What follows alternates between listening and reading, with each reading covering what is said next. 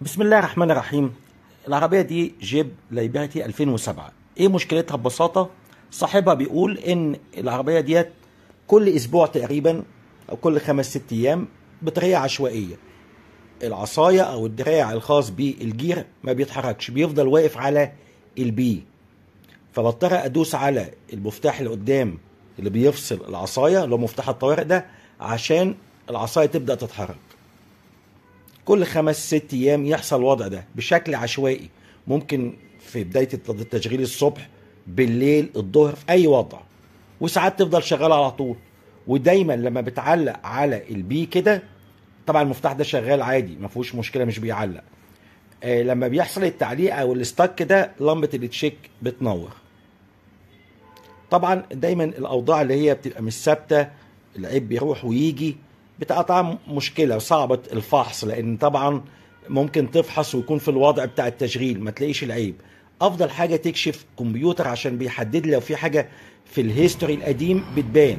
فطبعا حطيناها على الجهاز عندنا. طبعا طلع لي في مشكلة في ال PCM أو ال control المتحكم في ال power أو المحرك يعني.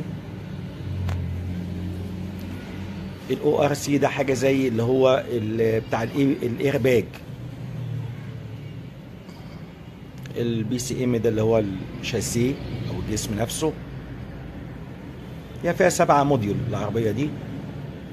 ال SKIM ده اللي هو زي ال immobilizer الأمان. طلع عربية قديمة 2007 حوالي ماشية 245 ألف كيلو. طيب أنا هدخل على طول على اللي هو ال PCM طبعا واضح طبعا في عندي مشكلة تحت في الترموستات هنبقى نشوفها بعدين ولكن المهم عندي ال brake switch. brake switch اللي هو المفتاح اللي عند بدال الفرامل. المفتاح ده مهم جدا وساعات بيعمل مشاكل كبيرة والناس ما بتاخدش بالها منه. طريقة الفحص هتبقى على مرحلتين.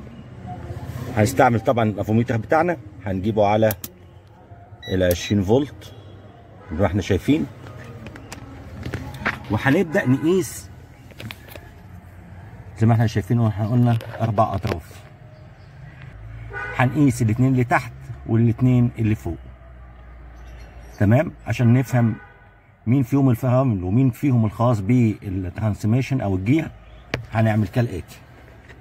نوصلهم كده. زي ما إحنا شايفين كده. أهو. تمام؟ هيديني قرايه كام؟ والموتور واقف خالص المفتاح متشال أصلا. اداني 13 فولت. ده فولت البطارية. يبقى ده كده الفرامل. تمام؟ هنبدل بقى. نحط الاثنين دول في الاثنين اللي فوق. أنا شغلت كده. مفتاح بس. أون. وصلت. تمام؟ وصلت. أهو. عطاني كام؟ 12 فولت. يبقى كده الكهرباء اللي جاية للسويتش سواء من الفرامل أو كمبيوتر السيارة سليمة. يبقى أنا عندي كده هنبدأ نتأكد من المفتاح نفسه.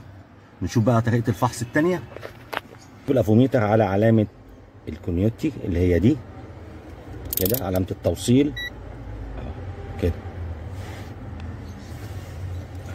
المفتاح ده طبعا بسيط زي ما إحنا قلنا زي مفتاح الثلاجه طبعا ما ينفعش ابدا يعني نمسك المفتاح وندوس كده ونقول سليم ولا بايظ ولا تالف ولا عايز يتغير. لازم يتقاس. طيب.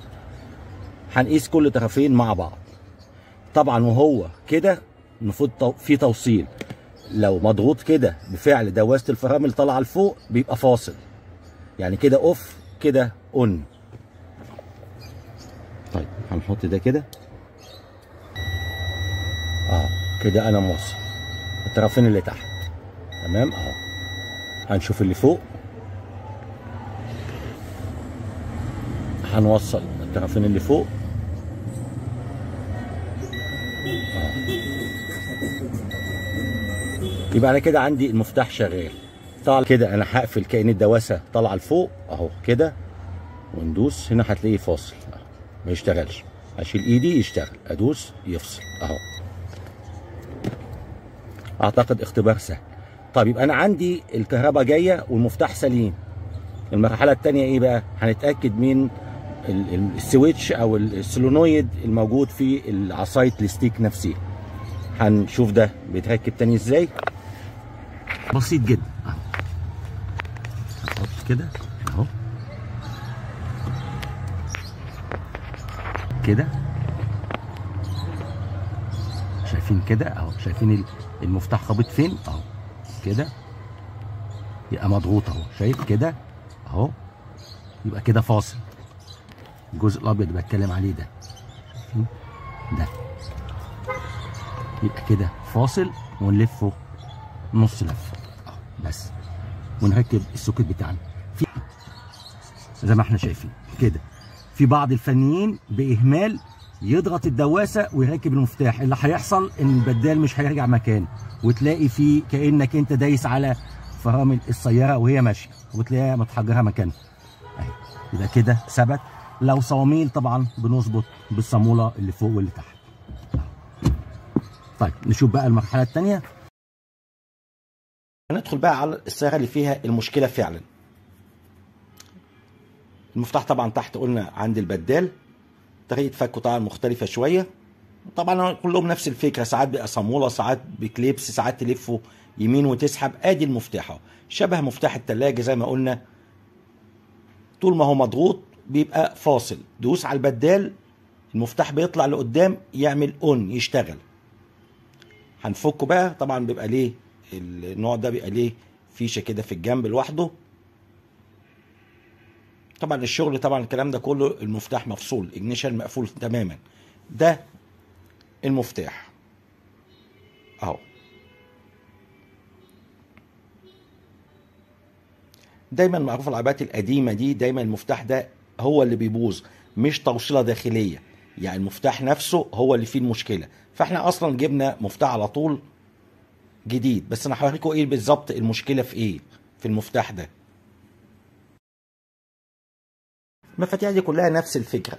يا إما زي دي كده فيها كليبس يدخل في مكان مفتوح في المعدن وتلفه ناحية الشمال أو بصامولة أو بكليبس ايا من كان. بيبقى طبعا وضع سهل جدا. آه كان راكب بالشكل ده تلفه وتسحبه لبره طبعا تفك الفيشة بتاعته اللي هي السودة دي. تمام؟ هناخد المفتاح. هوريكم بقى إيه المشكلة بالظبط في المفتاح ده. ليه بتحصل المشكلة دي؟ نطلع بس في حتة فيها نور حتة هنا ضلمة تحت. طبعا الصبع الأسود ده اللي هو المفتاح اللي هو بيبقى المفروض البدال ضاغط عليه. يعني أنا بدوس كده ده كده البدال ضاغط. برفع رجلي من على الب... أو بضغط على البدال المفتاح ده المفروض يطلع كده. شايفين؟ بيعلق إزاي؟ فاللي بيحصل ببساطة بتشيل بتدوس على البدال المفتاح بيفضل مضغوط. كأنك ما دوستش وبالتالي العصاية بتبقى ستك معلقة ما بتتحركش. الكمبيوتر بيشوف إن الدايرة لسه مقفولة وبالتالي ما بيفتحش ال- اللوك أو ال- اللي هو اللي بيقفل العصاية عشان تتحرك. طبعا ده الجديد. طبعا بيجيب القطعه أصلية مفيش بيجيبها استعمال بس طبعا تأكد إن البنات دي اللي جوه سليمة المفتاح بيتحرك بسهولة. يعني بتضغط على ال- المفتاح. شايفين ده. اهو سلس جدا. تشيل الضغط من عليه يفتح يعمل اون ادي الموضوع كله ببساطة. دي كان العيب بتاع الوضع ده. طبعا دايما المفتاح ده بيحصل فيه المشكلة ان طبعا ده بيبقى تحت عند البدلات طبعا الحتة دي كلها اتربه ولما بتيجي تنظف وتنفخ هواء التراب بيدخل عند المفتاح ده. بيخشنه بالتالي بيبقى فيه مشاكل في تشغيله. هنركبه بقى الجديد ده. طبعا قلنا في موضوع سهل جدا ومجرد كليبس زي ما انت شايف كده بيدخل وتلفه ناحية اليمين خلاص بيمسك.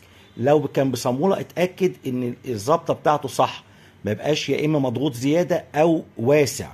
لأن لو واسع هيبقى برضه كأنه أون على طول. أهو زي ما انت شايف كده أدي المفتاح والبدال ضاغط عليه. ادي كانت المشكلة في منتهى البساطة. مجرد مفتاح بيعلق.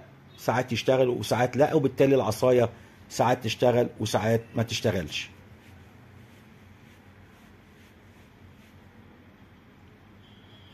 هنبدأ بقى نشغل كده ونشوف الدنيا ماشية إزاي بقى. أنا هضغط هنا احطها على كمبيوتر الأعطال أشوف الإشارات فعلا وصلت للكمبيوتر ولا لا. آدي المفتاحين بتاع اللمبة وبتاع دراع ال switch. همسح الأعطال. طبعا الحاجات التانية دي كانت history قديمة. همسح كل الأعطال.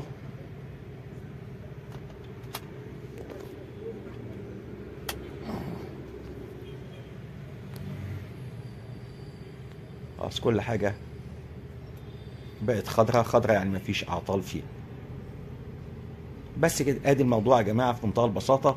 بس أهم حاجة الفحص الدقيق بدل ما تبدل حاجات ملهاش أي لازمة ويبقى خسائر على صاحب السيارة. وطبعا التصليح بيتم بسرعة وسهولة. بس كده. ونشوفكم إن شاء الله في حلقة جاية بإذن الله.